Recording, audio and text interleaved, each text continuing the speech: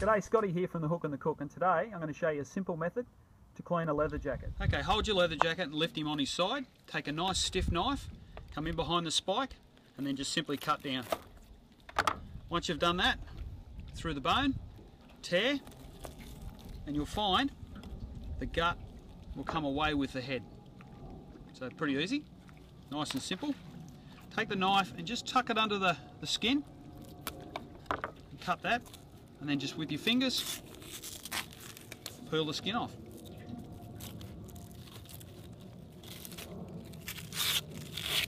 And there you have it.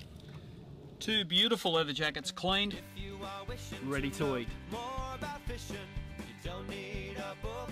Just come and see the hook and the cook.